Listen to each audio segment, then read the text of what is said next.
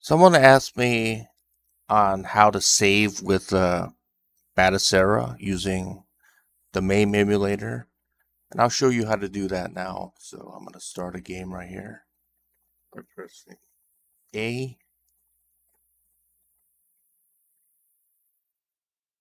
You could save one of two ways. You could press the hot button and uh, X to save.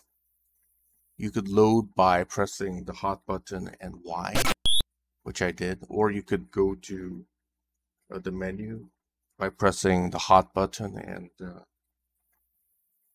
A, like this. And you could select a slot.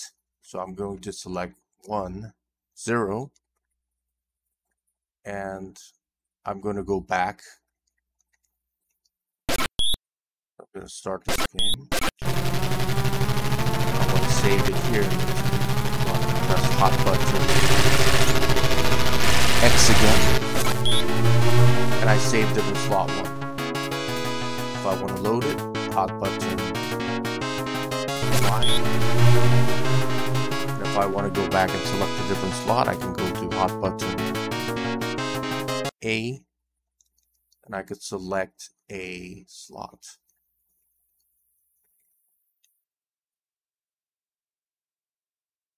State slot. Save. No. Okay, slots. I could select zero again.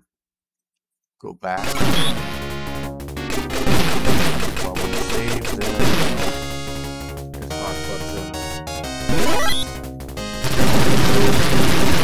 button. Hot button. That's all you have to do to uh, save and load in Batocera using the MAME emulator. Hope you found this helpful. If you have any comments, you could leave questions, you could leave it in the comment section below. And thank you for watching.